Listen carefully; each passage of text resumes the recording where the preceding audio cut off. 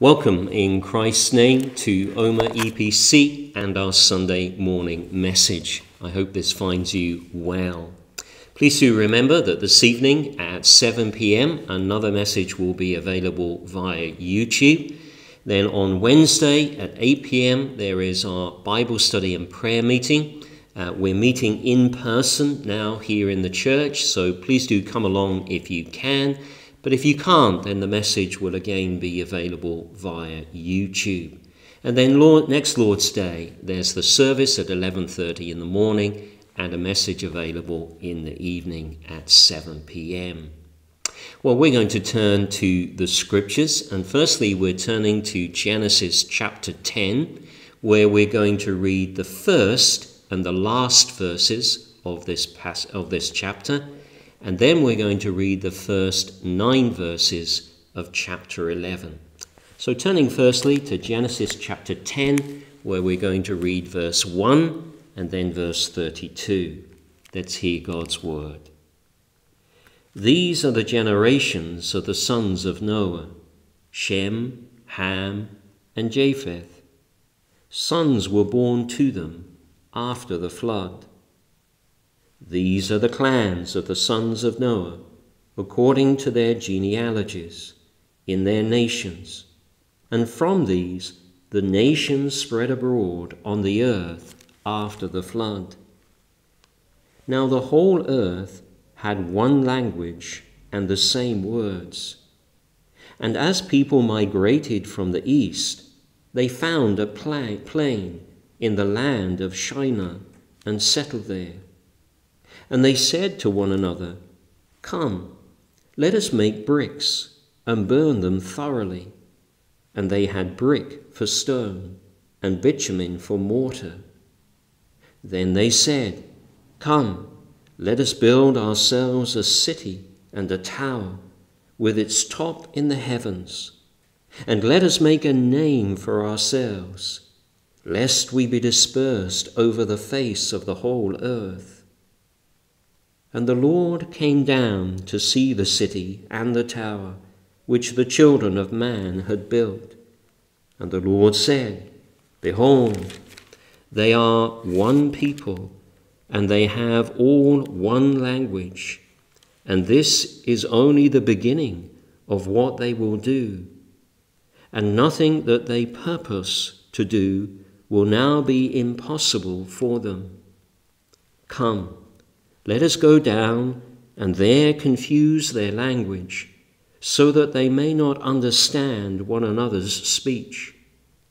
So the Lord dispersed them from there over the face of all the earth, and they left off building the city.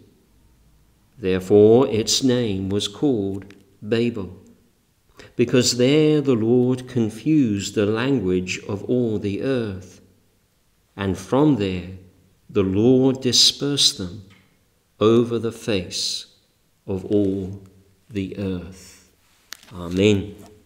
May the Lord bless His word to our hearts this morning. Let's turn to the Lord in prayer. Let us pray.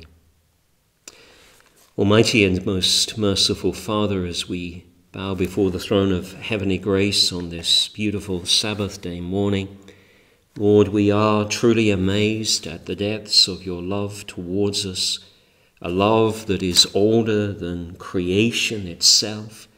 We thank you that you set your love upon your people before the world was, and that you purpose to save them through the sending of your Son. Lord, how we praise you for Christ and for all that he has accomplished through his incarnation, through his life his death, his resurrection.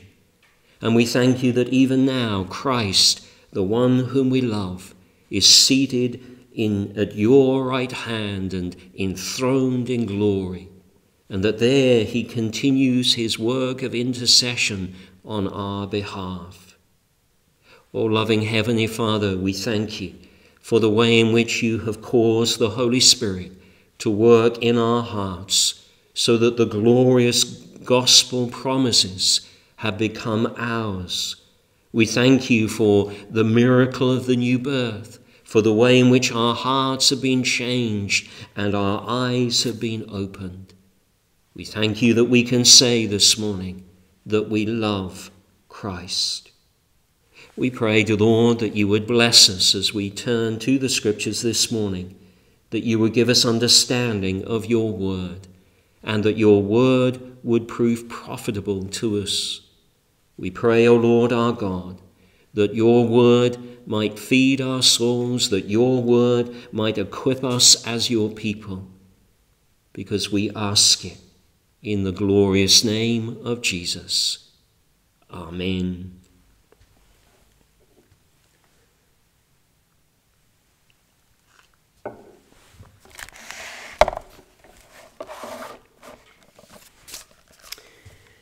Uh, back in March of last year, we commenced a new series on the first 11 chapters of Genesis.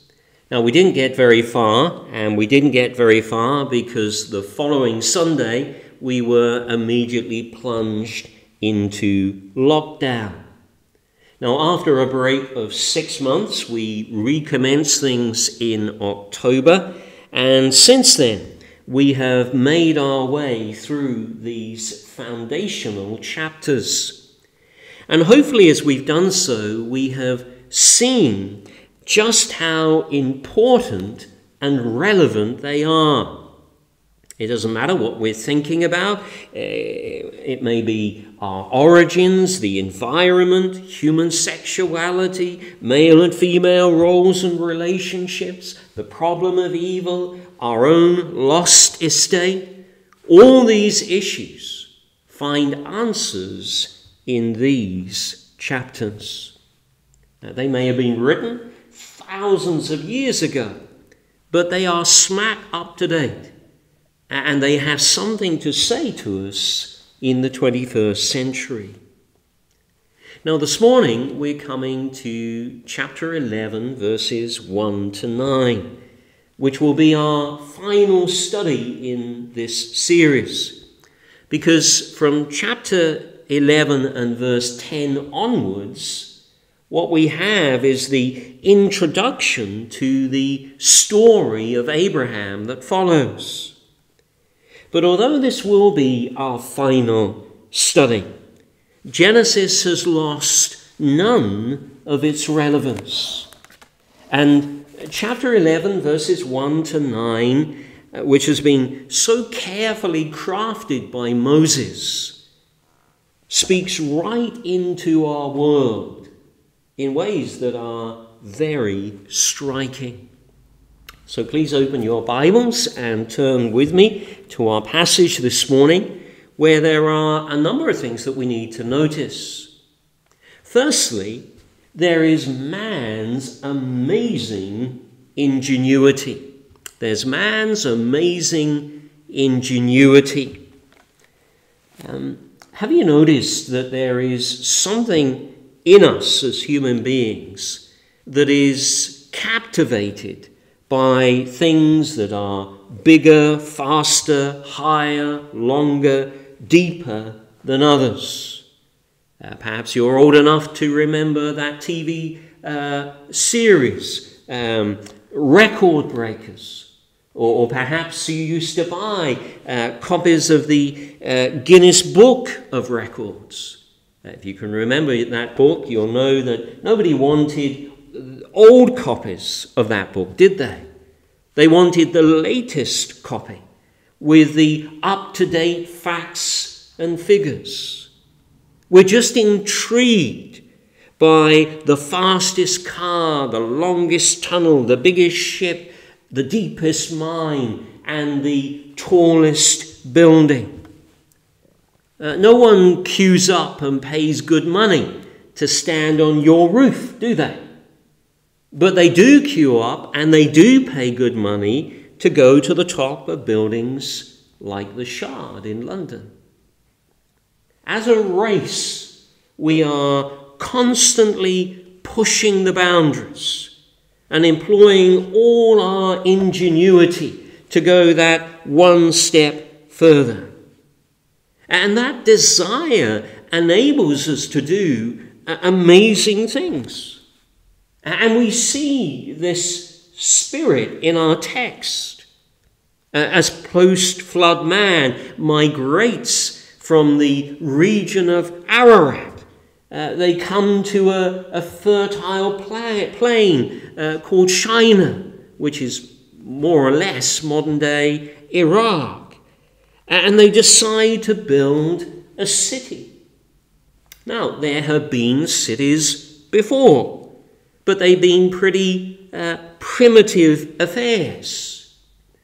But this is something new, and they employ new technology with kiln baked bricks and tar as mortar. You see, this is a, another step forward. Uh, this is a city on a, an entirely new scale. And like modern cities, it's to have a center. At the heart of this city is going to be a tower with its top in the heavens. This is where your world trade centers, your Khalifas, your empire states, and your shards begin. And it speaks of man's amazing ingenuity. An ingenuity that reflects the fact that we have been made in the image of God and that we have been given remarkable capabilities. So there's man's amazing ingenuity here. But secondly, there is also the sinister side to man's amazing ingenuity. What men do here is impressive, but it is also deeply disturbing. All the signs are wrong, all the signs are bad. And notice, for example, the direction in which these people are going. We're told in verse 2 and the people migrated from the east. Now, a better translation would be that they moved eastward or that they journeyed east. Uh, these people are moving in a, an easterly or southeasterly direction. And that means trouble. Because to move east in Genesis is almost always associated with moving away from God. Adam and Eve were expelled from the Garden of Eden to the east. After murdering his brother, Cain went into exile in the east. When Lot separated from his uh, uncle Abraham, he went eastward to Sodom and Gomorrah. When Jacob fled his homeland, he went east. Now, there's nothing inherently wrong about the east. But in Genesis, to move east signifies separation. It signifies rebellion. It signifies moving outside of the sphere of God's blessing. You see, these people are heading in the wrong direction. I wonder whether that could be said of you this morning. As you look at your life and the direction you're going in, are you going in a direction that is bringing you closer to God? Or are you going in a direction that is taking you away from God? With these people, they are moving away. So there's the direction in which they're going. But also notice the goals that they have. Why are they building the city? Uh, what's the point of this tower? Uh, well, we're told in verse 4. Then they said to one another, Come, let us build ourselves a city and a tower with its top in the heavens, and let us make a name for ourselves. Can you see that they're not building to the glory of God? This is all about them. They're making a name for themselves. And isn't that interesting? Isn't that interesting? As they move away from God, these people try to find significance and immortality in their own achievements. Now, that has a very contemporary ring to it, doesn't it? Our society is definitely moving in an easterly direction, it's definitely moving away from God. And as we move away from God, people are trying, aren't they, to find significance and immortality by making a name for themselves. For example, how else do we explain the proliferation of reality TV programs? Where have they all come from? And what lies behind them? Now, we've reached a stage, haven't we, as a society, where people are willing to do almost anything on TV if it gives them a moment's fame. And it's a telling indictment on the human condition. You see, it is in God that we find significance and immortality. But when we move away from Him, we have to start looking for significance and immortality elsewhere, and all we have left is ourselves. Without God, the only significance we can find is what others give us. And the only immortality there is in a world without God is the hope that people might remember us. But the world's memory and the world's fame is incredibly fickle, isn't it? as the countless broken lives of reality TV show stars prove. I was reading a very disturbing article that was actually a, a year old, but I only read it recently. But the article was just listing the number of people who have appeared on these types of shows and have had a moment's a moment of fame. Uh, the number of them who have ended their lives, and if you're listening to the news or reading the papers, you'll know that that's happened even recently. It's so tragic. These people go on these programs looking for fame, but the fame is fleeting, and, and suddenly uh, uh, they return to the, the drudgery of normal life. They don't have the buzz of that fame anymore. And they can't see the point of going on. Can I ask you this morning, where do you find significance? And where do you find immortality? Are you looking for significance without God? Are you looking for immortality without God? Friend, it will end badly it will end badly. Significance and immortality is not found in the world or in making a name for ourselves. It is found alone in the God who made us. So the signs are bad, uh, both in terms of the direction that these people are going in and the priorities that they have, but also notice their defiance we're told in verse 4 Then they said to one another, Come, let us build ourselves a city and a tower with its top in the heavens, and let us make a name for ourselves, lest we be dispersed over the face of the whole earth. Now, God said to Noah and his sons back in chapter 9, Be fruitful, multiply, and fill the earth. But these people are saying, No, we're staying put. This city and this tower are acts of defiance. They're waving their fists in the face of God and saying, No, we are staying together.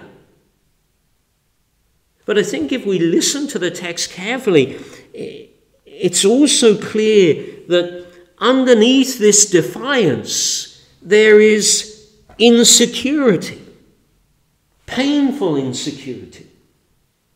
These people are afraid. They are afraid of being scattered. You see, man without God is inherently insecure. Without God, this world is a very scary place. So these people try desperately to stay together, and uh, the, the tower is their rallying point, their focal point.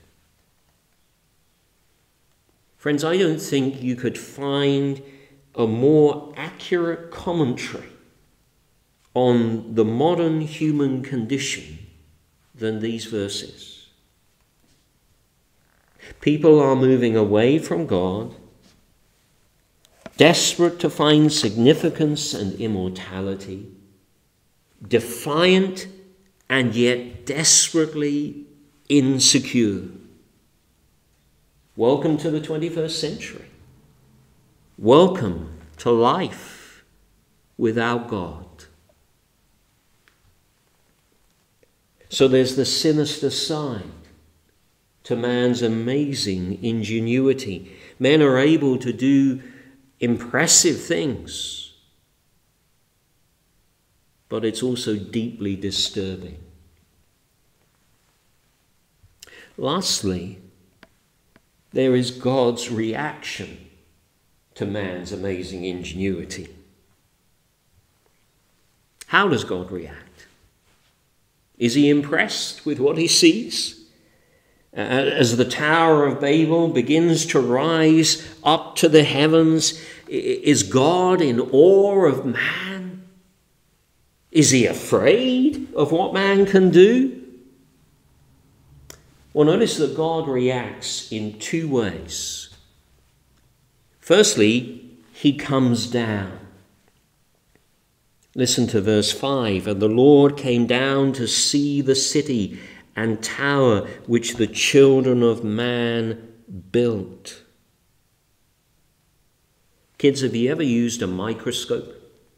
Uh, perhaps you've used one at school, and you know that microscopes make things that are tiny, that are not visible to the naked eye under normal circumstances, they make those tiny things visible.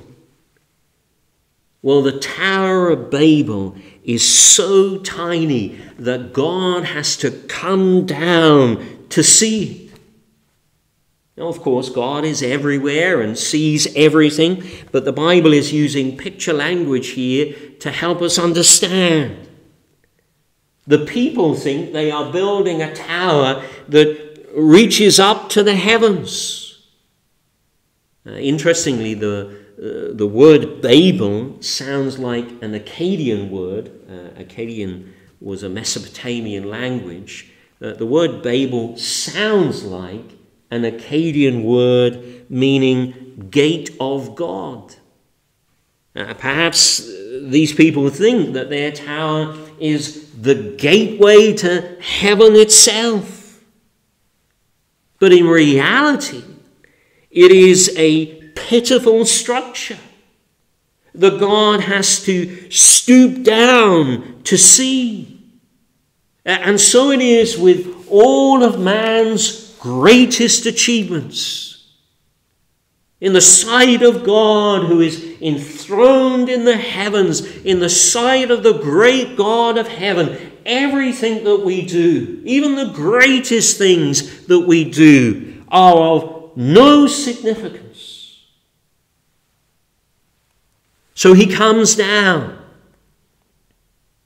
But the second thing that God does is he confuses and scatters. The triune God says to himself in verse 7 Come, let us go down and there confuse their language, so that they may not understand one another's speech. Now, whilst the word Babel uh, does sound like an Akkadian word for gate of God, yet in Hebrew, the word Babel means confusion. Now, you see, what we have here is a, a subtle play on words. So God confuses their speech. Uh, imagine what that must have been like. I, I don't know, but perhaps they all went to bed uh, speaking one language and they woke up the following morning uh, speaking uh, a dozen languages. It, it must have been bedlam if it happened that way. But having confused the languages, God then scatters them over the face of the earth, and their pet project grinds to a halt. The very thing that they feared the most uh, has happened. And this explains chapter 10. Well, we didn't read uh, chapter 10 in its entirety, but chapter 10 is a, a genealogy that shows uh, the descendants of Noah's sons and the rise of various nations and languages. And what chapter 11, verses 1 to 9 does is it explains how that came about, how we ended up with a world of, many peoples and many languages. Now, the question is why does God react this way? Why does he bring man's greatest plans to naught? And of course, what God did at Babel, he has done repeatedly in the history of this world. In the Bible, Babel or Babylon uh, stands for world power and man's defiance. And again and again, empires have risen on the face of this earth, but God has scattered them. Empires come and go. Uh, sometimes those empires are geographical empires, uh, like Rome. Uh, sometimes they are uh, empires of the mind, like communism. But they come and they go, and they come and they go because God tolerates them for a while, but then scatters them to the four winds. We've actually witnessed, witnessed these things in our own lives, haven't we? Uh, up at the house, I have a map uh, printed two years after the birth of my father. And it shows one quarter of the world's population as being part of the British Empire, and it shows all the different goods that came from the different parts of the empire and the amount of trade that was taking place. And at the top is a picture of George V, who is called the King Emperor. But it's all gone. Uh, many of us uh, here this morning were born into a time when the world was divided uh, into great, two spheres of influence the sphere of influence of the United States and democracy, and the sphere of the Soviet Union and communism. But communism has gone. And even now, the United States is on the wane. Now, why? Why does this happen? Why does God sweep them away? Well, let me say firstly that we should be grateful that He does. As the Lord's people, we should always be suspicious of the concentration of power. Because most of these empires have been godless and they uh, have rarely been friends of God's people.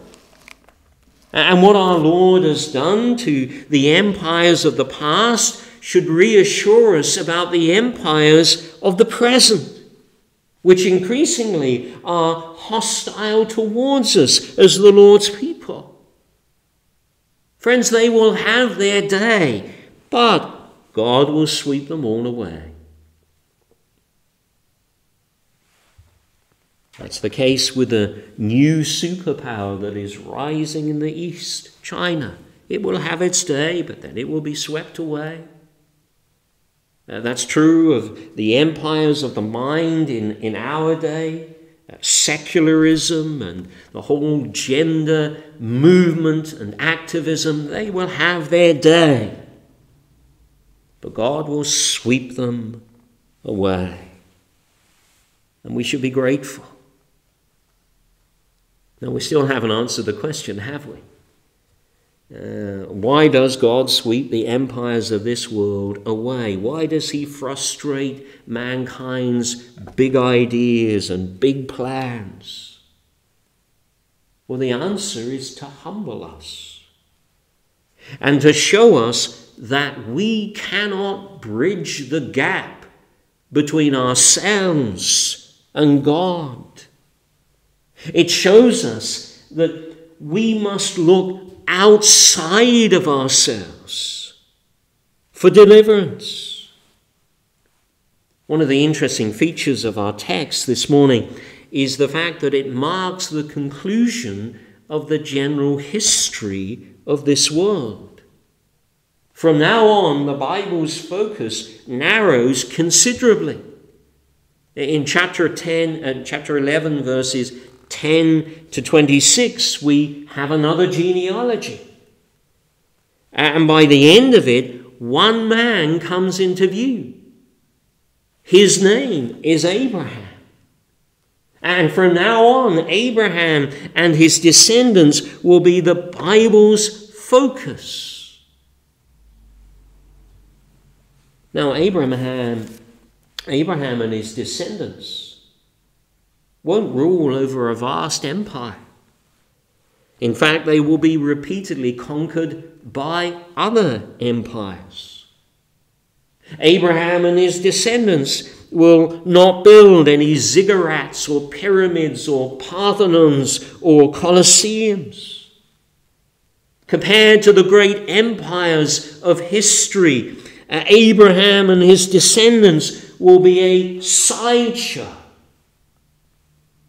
so why focus on them? Well, you see, thousands of years after the events of our passage, a teenage girl, a descendant of Abraham, will give birth to a little baby boy in a stable.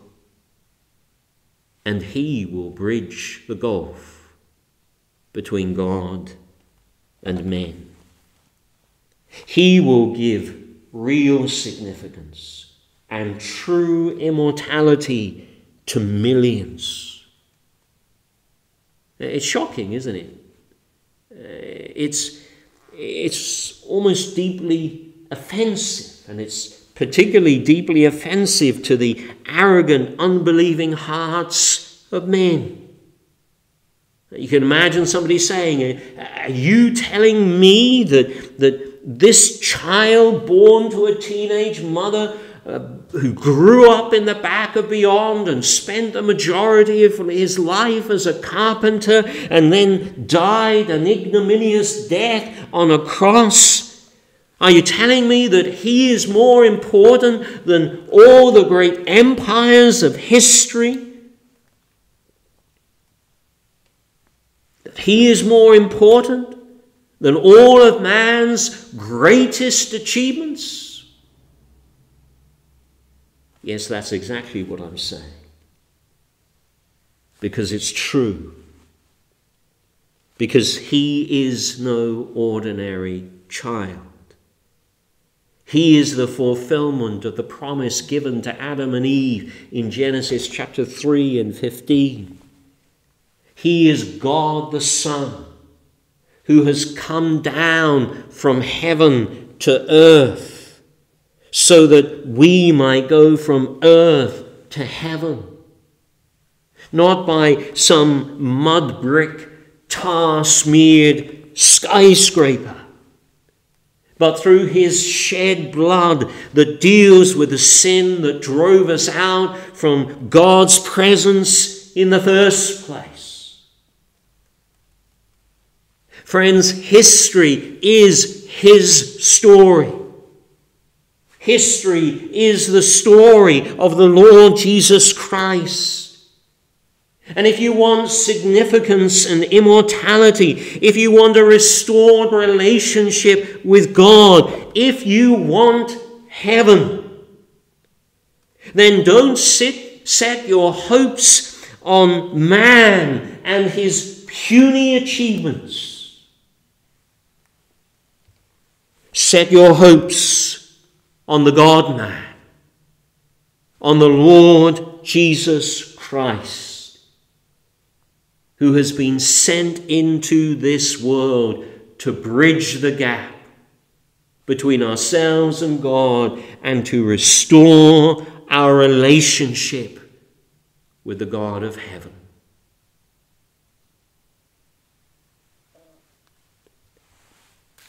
Friends, as we come to the conclusion of our study of Genesis 1 to 11, what we are left with is the gospel.